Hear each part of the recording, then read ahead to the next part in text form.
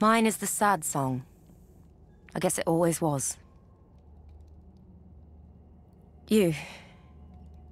You are all my father said you would be, and yet nothing like I imagined. It's hard to base a perception on a word, and it's wrong to chain someone to one place for all eternity.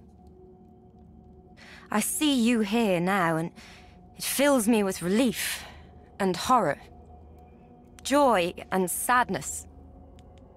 Relief that this, the longest wait, is almost over. Horror you can see all around you. The voice from the deep is drowning my song in its noise as the catacombs fill with the slaves of darkness. Joy that my personal nightmare is perhaps coming to an end. You're not leaving me, are you, big sister?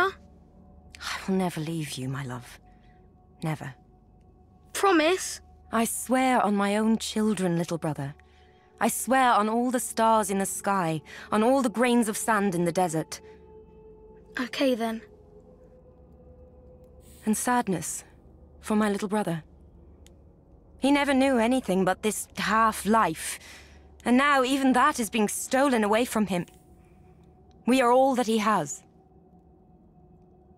If it weren't for him, I would just let go.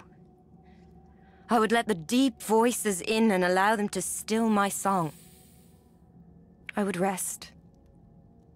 I would sleep. But I would miss him too much.